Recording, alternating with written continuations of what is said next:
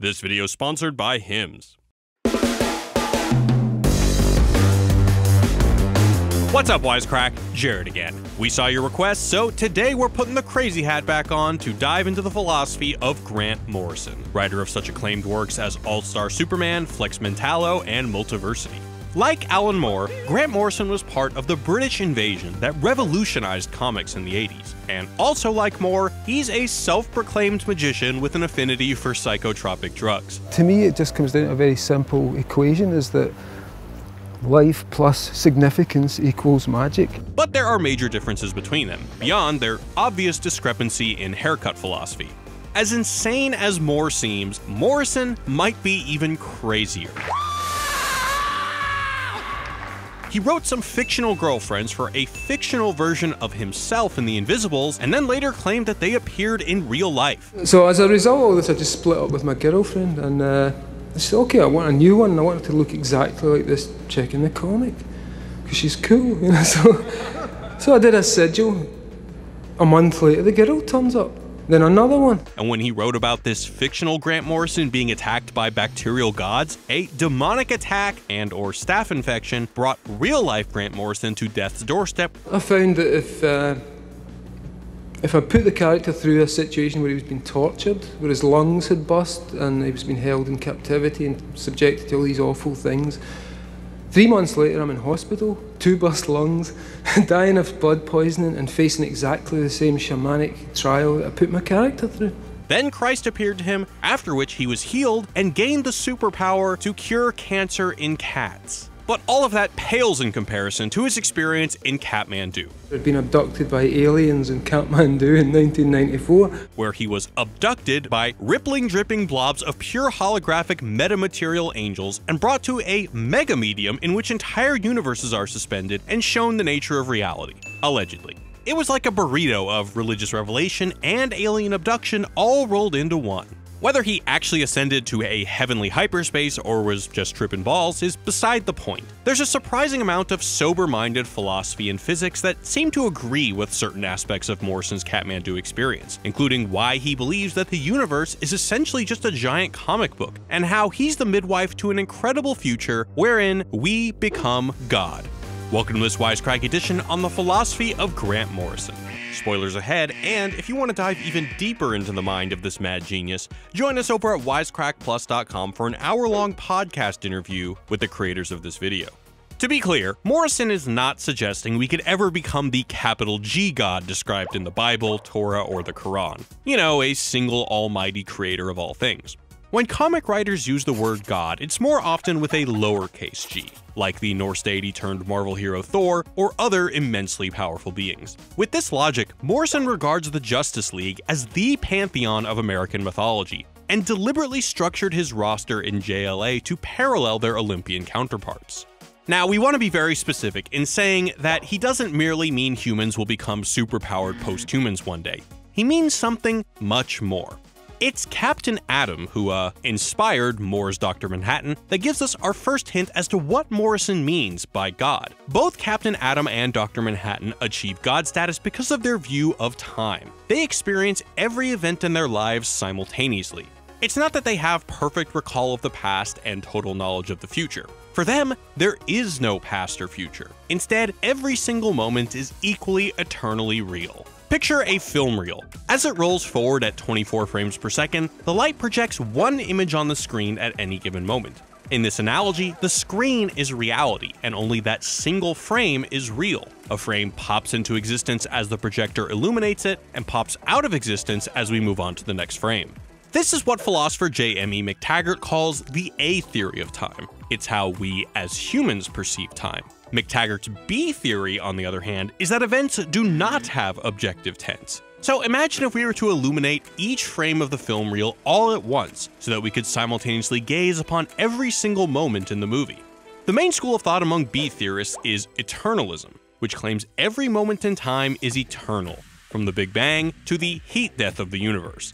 Nothing ever pops in or out of existence. Rather, events exist alongside one another. The shattering of this illusion is a frequent trope in Morrison's writings. In The Invisibles, Lord Fanny's initiation into magic is accomplished at the age of 11 when the remainder of Fanny's life, getting raped and beaten in Rio, drugged out in a drag club in London, even eventually dying, is experienced as if it already happened. The Aztec goddess Tlazolteotl reveals to Fanny, time is not a river. Time is more like a bubble, but is to a bubble what a bubble is to a circle drawn on the ground. So Morrison philosophizes about the nature of time in his stories. Cool, right? Well, he takes it further, way further. To Morrison, a slightly more literal version of this B theory of time lies in the very medium of the comic book. On any given page, if we were to ask the heroes, they'd tell us that page and that panel was the present moment, so far as they could tell. But as the reader, we see that all the panels, all the pages, all the printed issues are all equally now. Their time is an illusion, but one to which we're not subjected. Even the two-dimensional flat piece of paper on which comics are drawn may be an apt analog for the structure of spacetime. Per Morrison, our universe may even all be a hologram projected onto a flat mega membrane, which is, in turn, embedded along with many others like it within a higher dimensional space. Oh, He's referring, in his own way, to the holographic principle. Per Stephen Hawking, information associated with all phenomena in the three-dimensional world can be stored on a two-dimensional boundary, like a holographic image. In a certain sense, the world would be two-dimensional, like the pages of a comic book. So far, everything Morrison said seems like a reasonable conclusion to draw from mainstream theoretical physics. And if all he had to say was that just as a film reel is a fitting analogy for A theory, so too is a comic book an apt analogy for the B theory of time, his contribution would be entirely warranted. But then the Kathmandu experience went down, and things got weird. Now, although his more out there ideas don't necessarily hold up to scientific scrutiny, they're still worth exploring because they take comic books and superhero stories and turn them into a compelling worldview.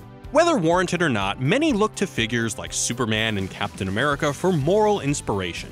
Morrison offers some justification for emulating fictional heroes, treating them as gods, and even goes so far as to say that the idea of Superman is every bit as real as the idea of God and suggests that we are even more super, even more godlike. It's for this reason that Morrison depicts philosopher Giovanni Pico della Mirandola in the pages of All Star Superman delivering his famous oration on the dignity of man. As he later said in his autobiography, Pico's oratorio is without a doubt urging us to go far beyond the human, into the realm of angels and gods. It asks us to accept the superhuman as an undeniable fact of our nature, and the goal of our future evolution as a people.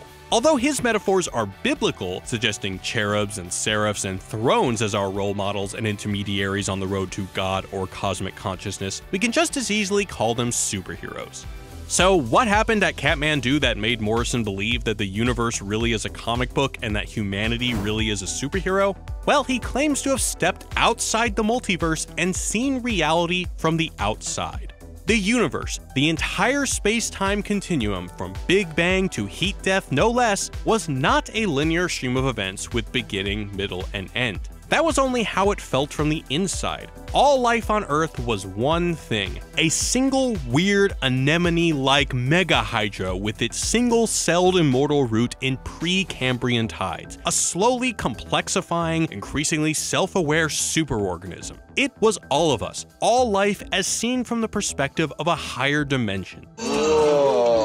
Whereas eternalism is content to conclude that space-time is a timeless four-dimensional object, Morrison goes beyond eternalism by claiming that by the same principle, every human being is actually a mere cell in a single superorganism that is humanity. And therefore, if each one of us is part of a larger whole, then altruism and beneficence and charity are in our own self-interest. The simplistic divide of right and wrong and good and evil in superhero comics suddenly seems less silly because our morals aren't arbitrary social constructs. They're the genetic programming instructing this superorganism not to destroy itself. Indeed, this view as a basis for ethics is the very conclusion Lex Luthor reaches when he gains Superman's powers, and upon seeing with his super senses all the fundamental forces and how they're interconnected, he begins to weep. This is how he sees all the time, every day. Like it's all just us in here together, and we're all we've got. Okay, so if humanity as a whole is like a superhero comic book, we should therefore behave like these costume do gooders. It's a compelling case, but if you think that's weird, he also saw fifth dimensional aliens, or what he called mercurial hypersprites. Five dimensional intelligences could, as a condition of their geometrically elevated position, get into our skulls quite easily, and we could expect their voices to come from inside. They, in turn, could hear our thoughts as easily as we can read Batman's private inner monologues on a 2D page. This is illustrated in Multiversity Pax Americana number 1. While reading a comic book, Captain Atom muses to two scientists. The story's linear, but I can flip through the pages in any order, any direction, forward in time to the conclusion, back to the opening scene. The characters remain unaware of my scrutiny, but their thoughts are transparent, weightless in little clouds. This is how a two dimensional continuum looks to you. Then, staring straight ahead, he says, Imagine how your 3D world appears to me. Atom's fourth wall break brings us to another major theme in Morrison's works metafictionality, which is the exploration of the relationship between the fiction itself with the real world of the writer and reader. Morrison first wrestled with metafictionality in the final issue of his run on Animal Man, in which he donned what he calls a fiction suit. He inserts himself into the comic itself to interact with the character.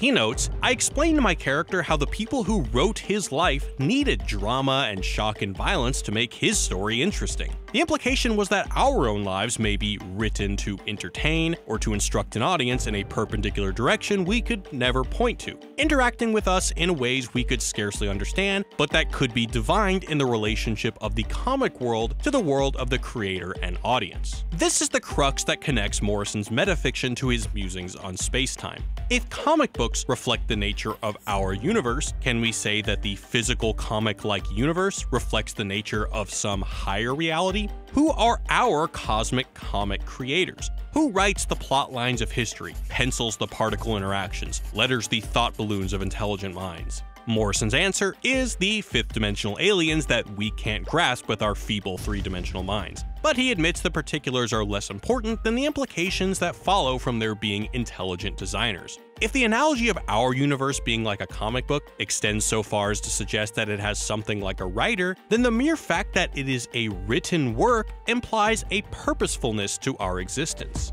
Now, of course, being created doesn't necessarily impart dignity. We might be like Morrison's Animal Man, with all our suffering for no greater purpose than to provide drama in a piece of cheap entertainment. We might be made by a hack. Our whole purpose might be to pass butter. But contra his younger self when writing Animal Man, the more mature Morrison became more optimistic. In Flex Mentallo, Man of Muscle Mystery, Morrison once again used metafictionality as a means of exploring questions about our own purpose. Just as Morrison sees reality as having a three-tiered structure, with his fifth dimensional imps at the top, the 2D comic book characters at the bottom, and us in the middle, so too is the story of Flex Mentallo set across three levels of reality. There's the cartoon world of Flex Mentallo, the realistic world of Flex's writer Wallace Sage, an avatar of Morrison himself, and yet a higher reality inhabited by superheroes more real than their writers, or the fifth dimensional aliens.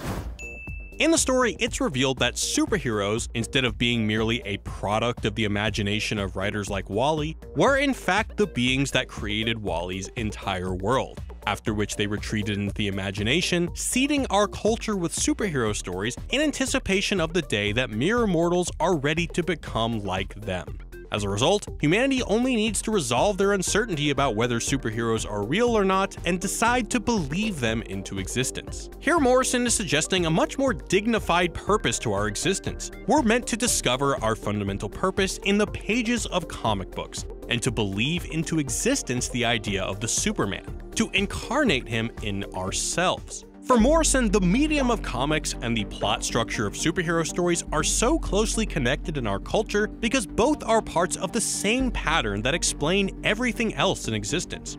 In recognizing this pattern, Morrison writes his own autobiography Super Gods in the style and structure of an archetypal superhero story, including a secret origin in Glasgow, the call to adventure atop Kathmandu, and a death and rebirth in which he brings the hidden knowledge he gained on his hero's journey to the comics community.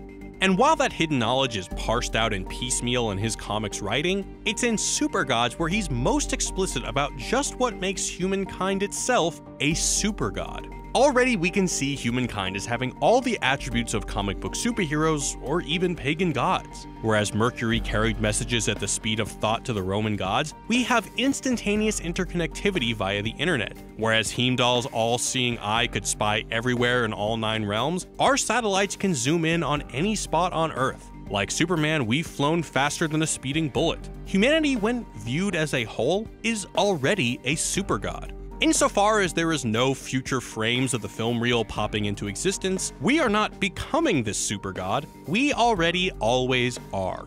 This epic of human history is merely its secret origin story as to how it gets its superhuman powers, but all of its ongoing adventures and never ending battles to come are all already written, published, printed, and on the shelves of some higher dimensional comic shop.